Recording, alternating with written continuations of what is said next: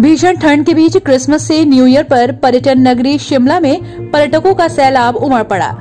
यहाँ दूसरे राज्यों से पर्यटक शनिवार को ही पहुँचना शुरू हो गए थे। शिमला में हरियाणा से पहुँचे पर्यटकों ने खूब हुड़दंग मचाया।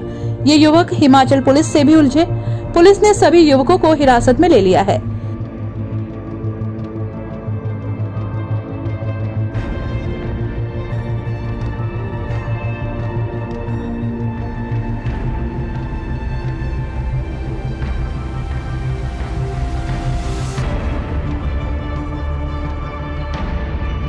हिमाचल प्रदेश की खबरों के लिए सब्सक्राइब करें। Local live Himachal Pradesh.